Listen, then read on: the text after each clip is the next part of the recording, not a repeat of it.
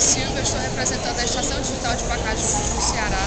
A gente está aqui na Campus Parque Brasil, mas gostando muito do evento, participando de todas as é, programações previstas para a inclusão digital e software livre.